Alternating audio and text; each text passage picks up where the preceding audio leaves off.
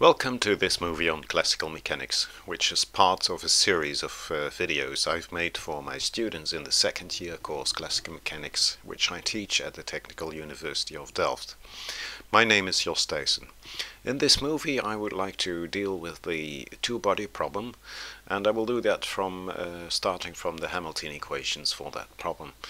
And um, it will lead in the end to the Kepler orbits which describe the motion of the planets around the Sun.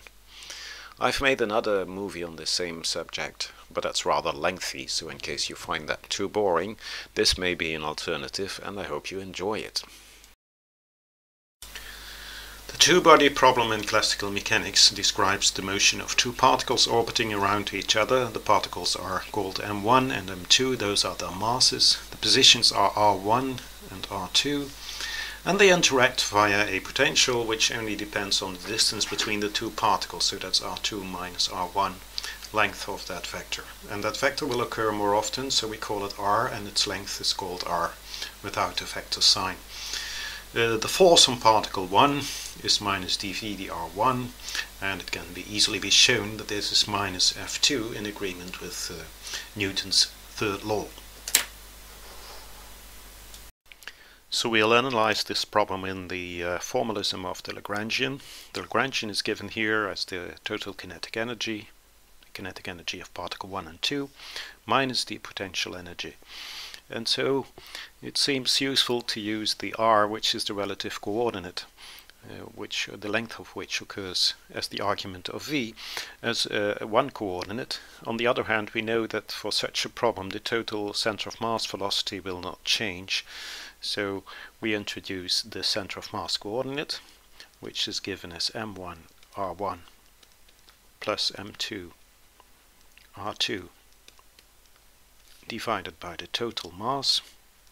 So recall that m is always m1 plus m2 and we have a relative coordinate r which is r2 minus r1 and it's useful to rewrite now the R1 and R2 in terms of this capital R and the lowercase r. So here I have done that. So we have written R1 in terms of the capital R and the lowercase r and the same for R2. And uh, from these two equations that transition is rather straightforward. Now if you have those you also know what the velocities are. You simply put dots over all the r's and then you get these two lines. And now we are ready to attack the kinetic energy and to rewrite it. It's now given in terms of r1 dot and r2 dot and we want to write it in terms of r capital R dot and lowercase r dot. So that is what I've done here. I have uh, substituted for the R1 dot here uh, the expression above and the same for R2 dot which I've replaced by this. And then we first have a term which is proportional to the capital R dot squared. And that term is easy to see. It's m1 plus m2 divided by 2 uh, then we have a term proportional to r dot capital R dot uh, lowercase r dot and that has a prefactor of m1, m2 over m and a minus sign. And from this I have a similar term, but that occurs with a plus sign. These terms are equal but opposite, equal in magnitude, opposite in sign, and so they nicely cancel.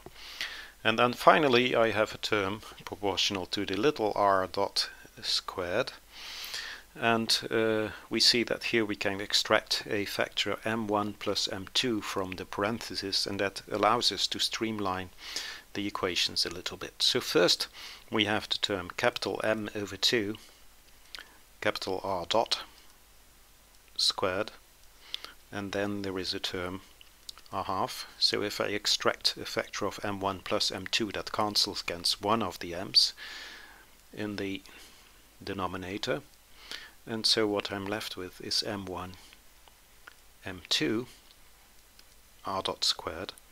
And I'm going to write this as follows. The first term is simply coupled copied. And the second term is written in the form mu over 2 r dot squared.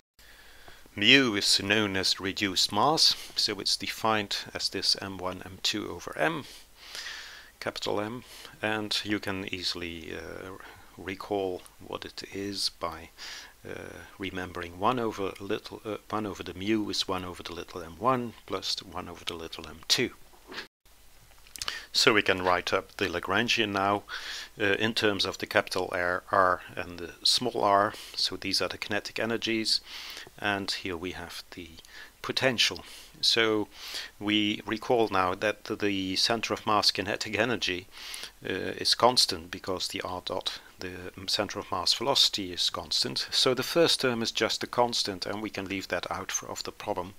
And so the interesting part is the Lagrangian of the relative motion and uh, that is just the last two terms.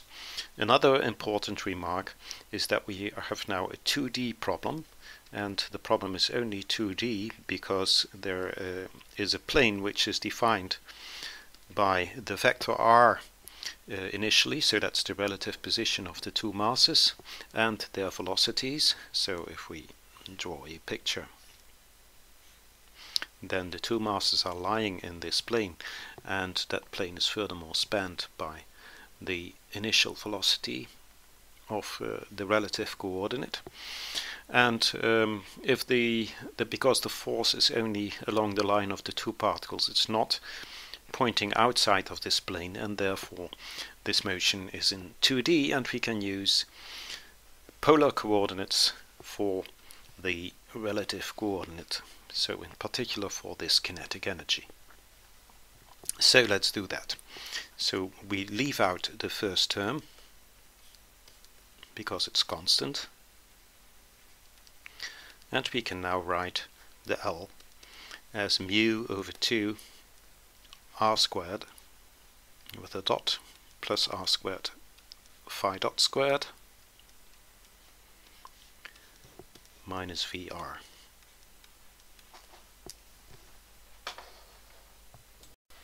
So we can write up the Lagrange equations and uh, we can start with the Lagrange equation for r which uh, is given as d dt and then we have the L the r dot. Uh, that is the same as mu r dot dot. And then we have the derivative of L with respect to the little r. But we have of course first this term but there is an additional term and that term is coming from this r here. We shouldn't forget that. So there is an extra term which is mu r phi dot squared.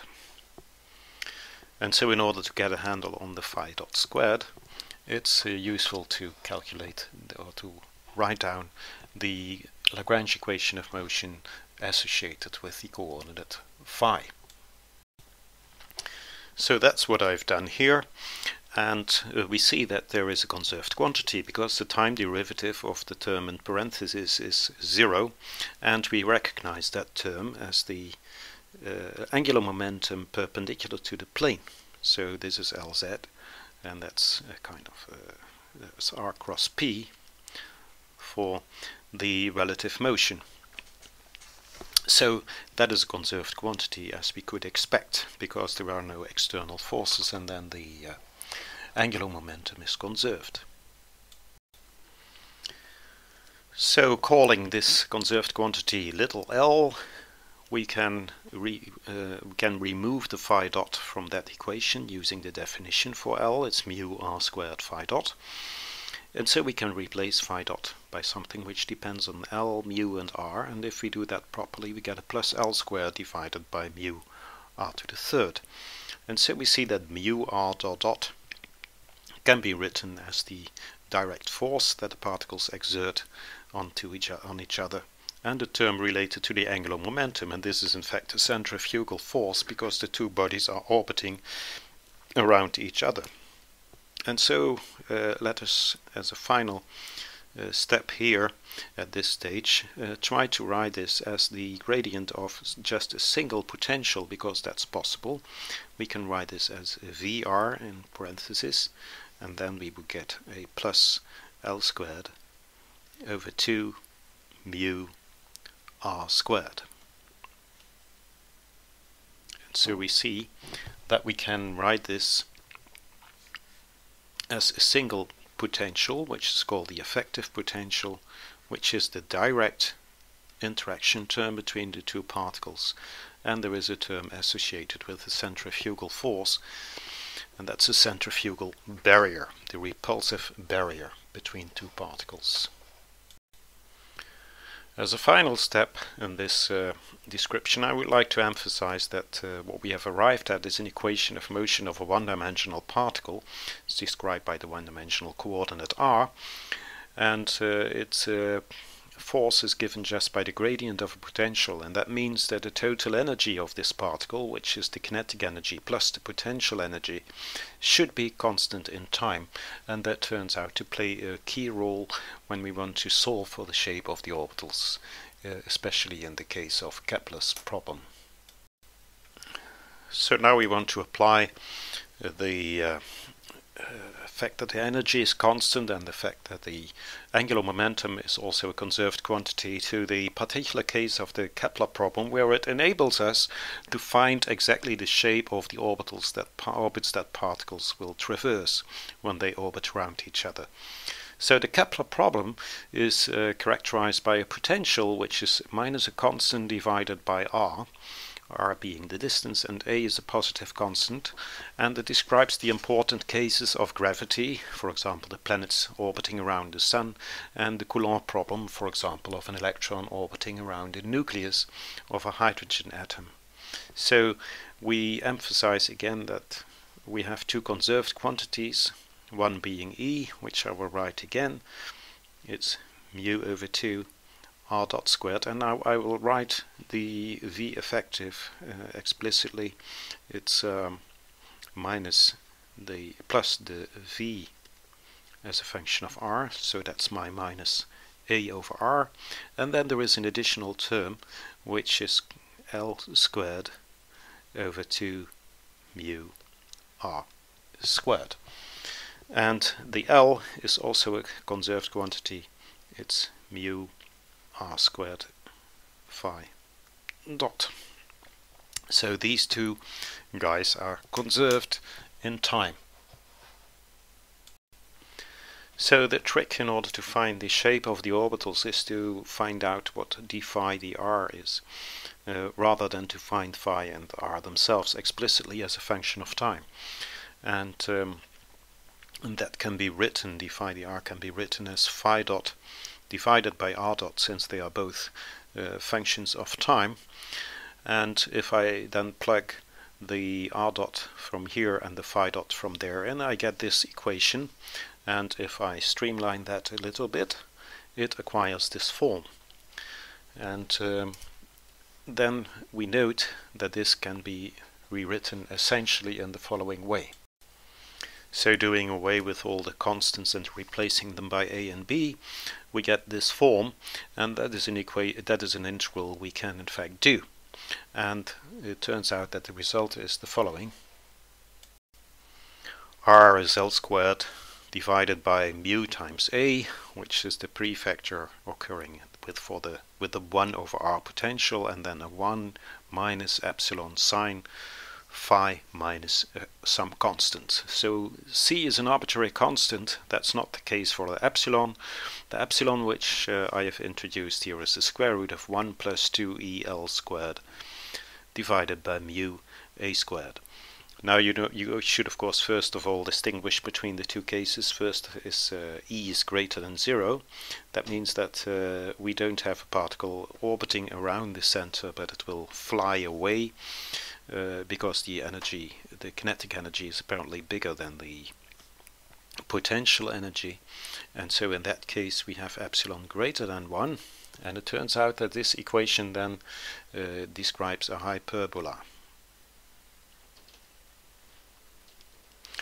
If E is equal to 0, that's just the point where the particle can just escape. That corresponds to epsilon equal to 1 we have a parabola and for the case where e is smaller than 1 we have an ellipse. Then there is another special case and that is the case where epsilon, so this is the case for negative energies and if epsilon equals 0 then we have a circle and you can easily see that from the solution if epsilon is 0 you see that r is constant so it doesn't vary with the phi and that's typical for a circular motion.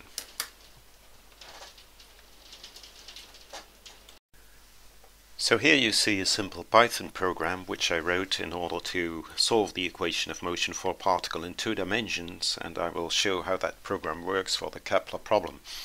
So I will not go into the details of the Python or of the plotting part of this program, but just focus on the dynamics, which uh, tells you how the particle's positions evolve. The position is uh, encoded into a vector r, which is two-dimensional. The velocities are given by the vector p, momentum, also two dimensions, and I take the mass equal to 1, so p is just the velocity in this case. The initial conditions are that the particle is released on the x-axis at 1, 0 and it leaves the x-axis with a velocity in the y direction of 0.4. Uh, the solution proceeds by moving the particle step by step and uh, the time elapsing between two time steps is 0.0005. Now I take the Kepler force, the gravitational force, as minus 1 over r, so the prefactor is simply minus 1. And if I calculate the force from this potential, I get minus the vector r divided by r to the third. And you see that that is encoded here in this uh, function which calculates the force. So we have minus r divided by r to the third. Then the actual solution takes place in this part of the program and it's done in the so-called velocity-Verlet algorithm, which I will not go into in detail, but it's a very simple and uh, accurate way of solving equations of motion. Of course, the uh, part which really determines the shape of the orbit is this the call to force. If I would change the force, I get different motion. And so it is interesting to see what we get uh, from this program. So, when I press the enter key the program starts running and we see that we get a perfect ellipse which is quite eccentric. And it's uh, so this is the attraction the, the center of attraction. This is the origin. And we see that the particle passes very close by the attraction center. The uh, orbit is a closed ellipse and it is, this ellipse is traversed several tens of times but uh, we do not see that uh, because it's each time the same orbit so you don't see the particle really moving.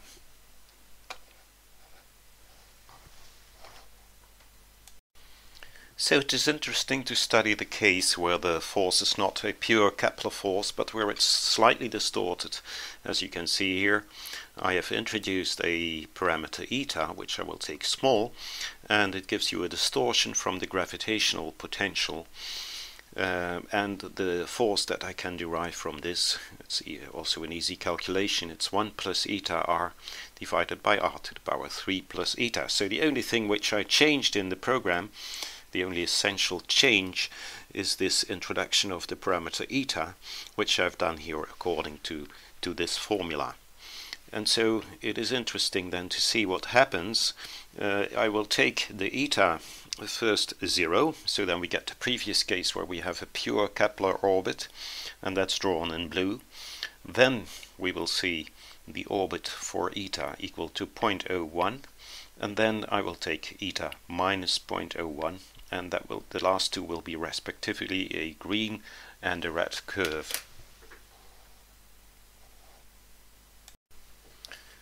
Okay, so let's see what we get when we start the program. First we see obviously the blue curve just as before the closed Kepler orbit because that was the case where eta was zero.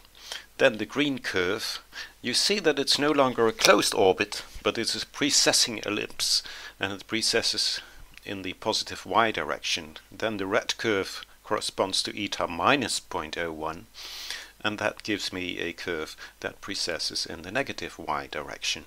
So you see that the fact that the orbit is closed in the Kepler case is really a special feature of the form of that potential which is the 1 over r potential.